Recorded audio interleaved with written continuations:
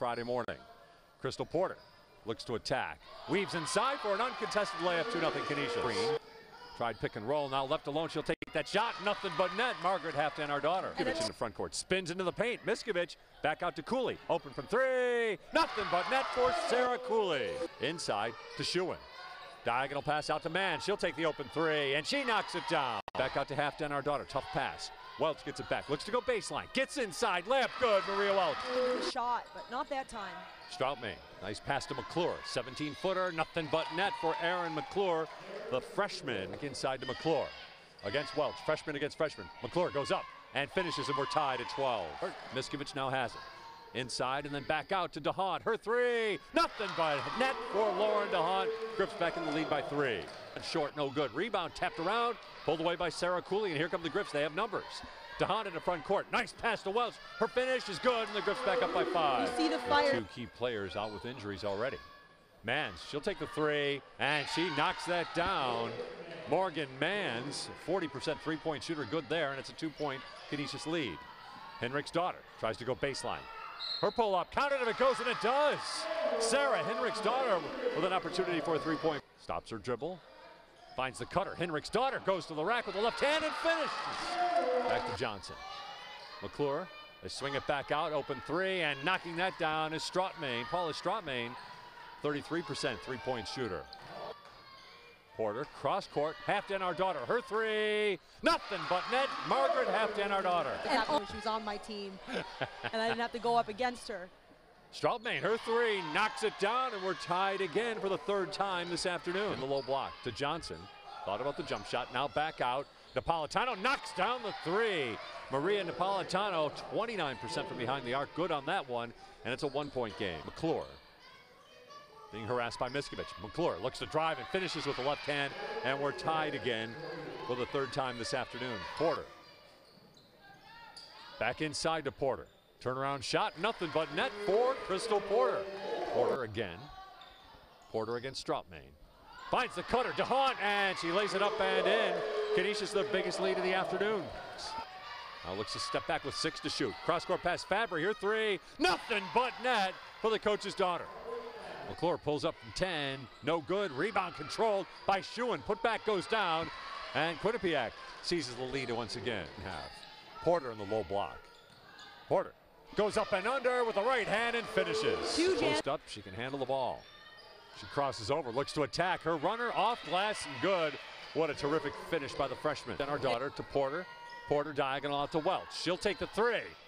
And a big three by the freshman for Canisius. Front court, hands off to Martucci. Martucci in the paint. Her shot goes down. McClure, Strautmane in the block, goes up with the left hand and finishes. That's a tough matchup for Canisius down low. To McClure.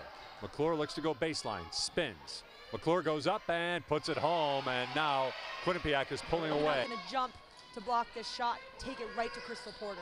Pass inside, laying it up and in. Margaret Halfdanardottir, with nine this afternoon. Miskovich with the steal against Martin. Miskovich looks to finish, and she'll go to the line to shoot two. Porter, McClure, slashes inside and finishes for Quinnipiac. Rebound DeHaan for Canisius. Back to Miskovich. She drives and lays it up and in.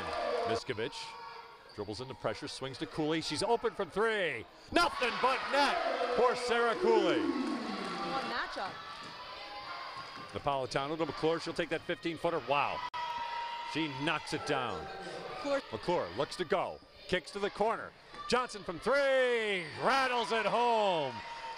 This is the foul shot, and that will do it this afternoon at the Koessler Athletic Center.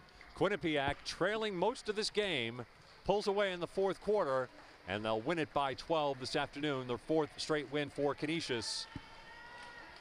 They have lost now six of the last seven. And Quinnipiac, how do you feel? And welcome back to the Koessler Athletic Center. Quinnipiac beating Canisius today here at the Koessler Athletic Center. All right, Coach Fabbri, the game for the most part early on, Canisius looks like they were able to do what they wanted to do. What kind of adjustments did you want? Well, I'm, you know, Terry had his team playing today. You know, uh, losing Mills just uh, 48 hours, and my goodness, they came in ready to play 60% in the first half. I don't even think we did that much better in the second half defending them. They were just playing with a lot of inspiration and they were making shots. They made us really work hard in the second half. We just kind of we had to dig down and just find some way to get the ball. And I just think that it wasn't necessarily our defense. They just they just cooled off a little bit in the second half. We were able to still hang around and make some some big plays offensively and get at the end of the third and then stretch it in the fourth.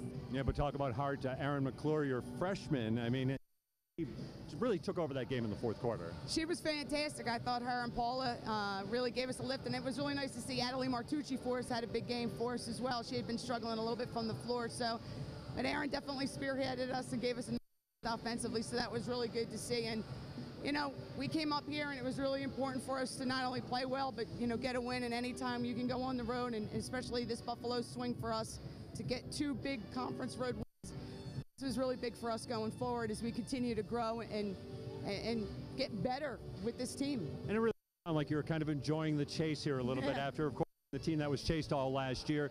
That being said, you know about takes to put together a championship team. You know this league's wide open this Yeah. year. How do you feel about your forward? Well, you know what? I'm just really pleased with our weekend's effort. Um, you know, again, getting on the road, having not had, we didn't win a conference game yet on the road, and be able to get on the road and, and get away with two wins out of uh, up here in Buffalo. Um, a lot, you know, it wasn't really pretty, but I'm really glad we were able to do it. Sorry, little, a lot of things running through my mind right now. But, um, you know, it was a really important weekend for us, and I think, you know, again, while while we'd really, our identity has been a lot of defense, and we didn't really shut down Canisius today. I thought they played a great game.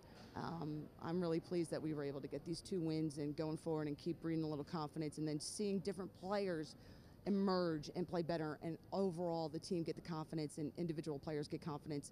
Um, you know, mid-January, it's good to see this time of se- this time of the year. Congratulations, Coach. Thank you.